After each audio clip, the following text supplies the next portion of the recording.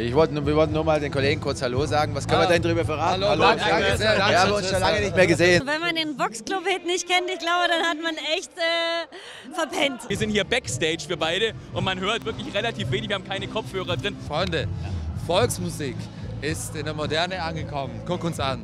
Generell haben die Jungs, äh, glaube ich, auch einfach so ein, so ein großes Bruder, also so ein großer Bruder, äh, ne? so Charakter irgendwie. Es geht um, um die Heimat, es geht um Freundschaft, es geht um Ladies, es ist einfach cool. Und Volksmusik ist einfach geil und macht Spaß. Und das wollen wir mit dem Album auch wieder zeigen. Für die Jungs habe ich sogar einen Dirndl angezogen. Aber ich glaube, die Frage war, ob es was Neues gibt, oder? Also Manuel Neuer, nein, ist immer der Neue, genau wie ich. Die Message kommt an, wir haben echt noch lange nicht genug von all dem, was wir machen. Die Akustikserie heißt Ich liebe Schlager, wo ich so quasi meine Lieblingshits der letzten 30, 40 Jahre Schlager auf meine ganz eigene Art interpretiere. Wir sind jetzt erstmal froh, dass wir unser Album draußen haben, dass das auf jeden Fall auch so gut ankommt. Das weiß man ja auch vorher nicht.